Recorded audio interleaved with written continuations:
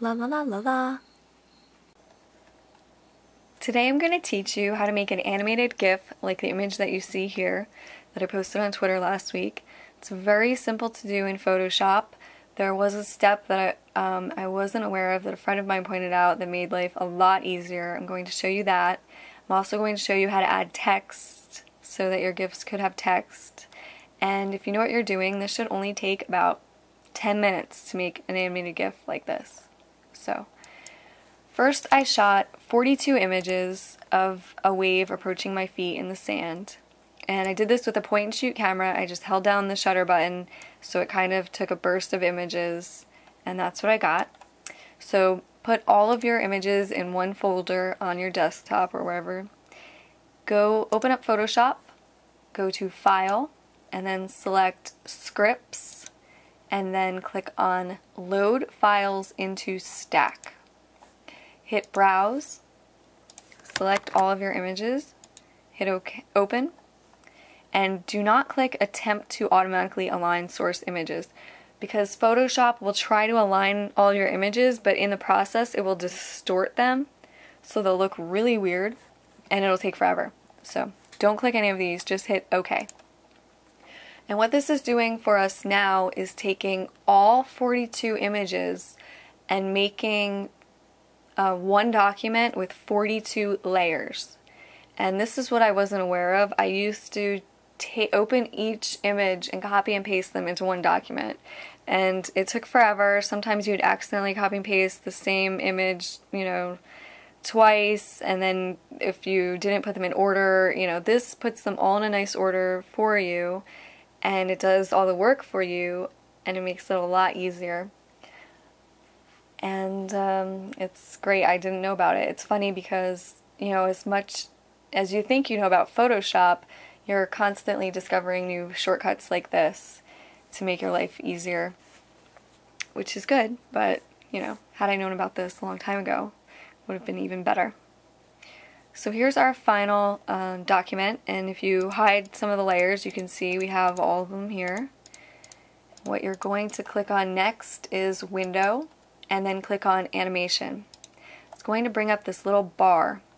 If you've never used this before or someone uses this before you it might look like this. And this is a little intimidating.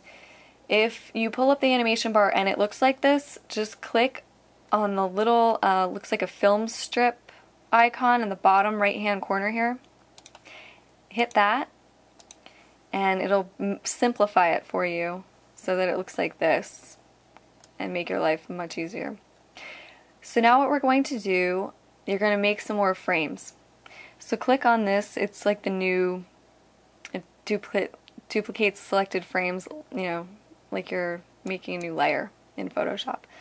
So now if we hit play, nothing's going to happen because our images are the same. So what you're going to do is duplicate and then hide. You're going to hide the, the first layer so that you see your second layer. And you're going to keep doing that. Duplicate, hide. Now there's the third. And then just keep doing that. So you're just hiding the layers so that you see what's underneath of it. And that's what's going to make the animation. So just keep doing this. I'm only going to go up to um, 12, so I'm not going to do all 42. And you can see what we're going to get here eventually. Okay. Now if we hit play, we're going to have a really boring slideshow of images because our time interval is at 10 seconds, which is a long time for an animated GIF. So what we're going to want to do, and this is a shortcut that I found for myself that is great, you're going to click on the first frame, hold down the shift button, and then click on the last frame, and this allows you to change the time interval on all of them at once. For the image that I my example, I hit no delay, so it was a very fast animation, but I'm just going to click on point two so you could see. And I'm also going to click, see where it says once? This is your looping option click forever because you don't want your GIF to just stop. You want it to keep repeating. Now if you hit play, you can see you have a looped uh, animation here of the wave. And now we want to add text. So click on the first frame, go to your first layer, and then make a new layer. And we're going to just add some text here. Just going to name. Okay. Okay, so there we have a text layer. And you could push play now and the text stays the same and your image moves and that's pretty cool. So say you, you decide, oh I don't want this text layer anymore. You just simply have to hide it. But if you see what happens here, this is the part that get, can get really irritating. I wasn't on the first layer when I hid the text layer, so if I hit play, this will drive you nuts, trust me. See how the, the text just disappeared on the 11th frame because that's where I hit it. If you want to edit the text, make sure you're on the first frame. If you decide you want to remove the text altogether, make sure you're on the first frame and then remove it. And then it'll take it away from all of the frames. See? If you want to put it back, same deal. But if you wanted to do like an effect, like have your name flash, and you wanted to remove it from every, you know, every two images, I don't know why you would want to do this, but um, so that your name kind of flashes there, you know, you could do that, but I'll just leave it like that. But I just wanted to, to make you aware of if you edit a frame, you know, you think you're removing all the text, you're not. You're just removing it from that frame. If you want to remove it from all of them, select the first frame. So here we have an animation that, you know, say you're done with. Okay. GIFs have to be pretty small. So this is way too big. So we're going to go to image, image and then image size. Just make it 72 DPI because it's just for online, I'm assuming. I'm going to make it um, 300 pixels wide because animated GIFs are pretty small. And when you attempt to save this, you'll see that you kind of have to keep um, sizing down the image so that it works as a GIF because it won't let you export it if it's really huge. Okay, so now we have our small little GIF here and we want to save it. So go to File and then you're going to click Save for Web and Devices. And it's going to bring up this prompt here. Uh, you want to make sure it says GIF here, which it probably will by default um, try to uh, make sure it says 256 colors.